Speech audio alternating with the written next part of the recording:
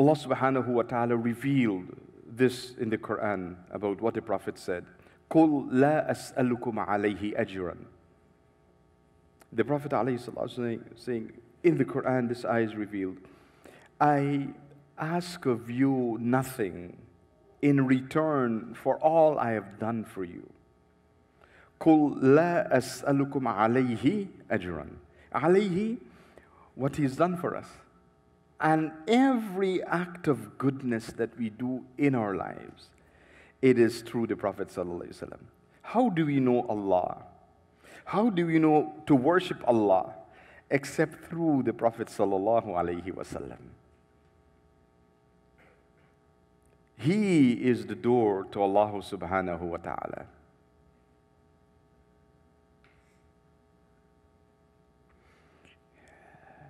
And so the Prophet said, whatever, whatever I've done for you, I want nothing in return except for one thing. One thing.